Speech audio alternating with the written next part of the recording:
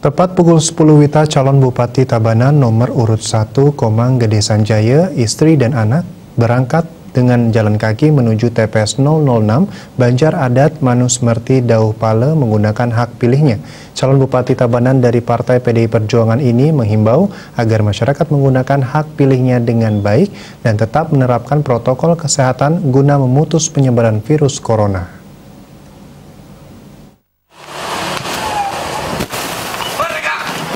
Mereka.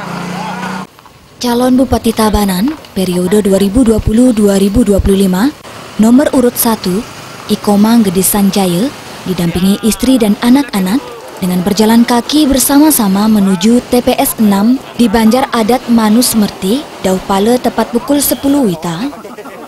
Menurut Komang Gede Sanjaya, dipilihnya jam 10 Wita dalam menggunakan hak pilih sesuai dengan spirit dan semangat Presiden Soekarno dalam memerdekakan Republik Indonesia yang patut diteruskan dan dimiliki generasi penerus dan sesuai dengan amanah KPU. Saat disinggung apa ada persiapan jelang pemilihan, Komang Gede Sanjaya mengatakan tidak ada, hanya diawali sembahyang sebelum berangkat, memohon keselamatan dan pemilu kada berjalan lancar, sama seperti doa sehari-hari yang rutin dilakukan. Calon Bupati Tabanan nomor urut 1 yang berpasangan dengan Imade Edi Wirawan sebagai wakil Bupati Tabanan ini mengingatkan sekaligus menghimbau agar masyarakat dalam menggunakan hak pilihnya tetap menerapkan protokol kesehatan. Jangan sampai hanya karena adanya pemilu kada, terjadi peningkatan dan muncul klaster baru yang terkena virus corona.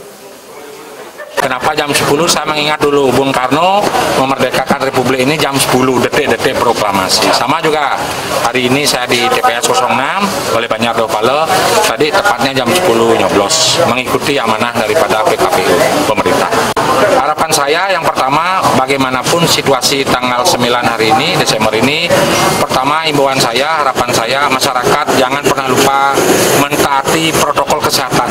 Karena ini nomor satu kalau sudah mentaati protokol kesehatan biarlah nanti gara-gara pemilu akhirnya pandemi naik di Tabanan dan lain-lain. Saya tidak mau demikian. Nah harapan saya masyarakat Tabanan pada hari ini kondusif semua. Persoalan kalah menang hal yang biasa. Tidak ada yang perlu dirisaukan eh, yang perlu disusahkan karena ini memang amanah rakyat. Kalau memang rakyat sudah percayakan kepada siapa pun ayo kita song-song dengan baik. Itu harapan saya Calon Bupati Tabanan periode 2020-2025 ini juga berharap semua komponen dan masyarakat Tabanan ikut bersama-sama menjaga situasi keamanan agar tetap kondusif.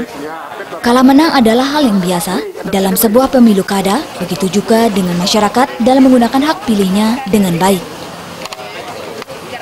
Kalau saya bicara target orang di rumah saya sendiri, masyarakat saya sendiri, keluarga saya sendiri, Astungkara targetnya pasti sesuai harapan lah.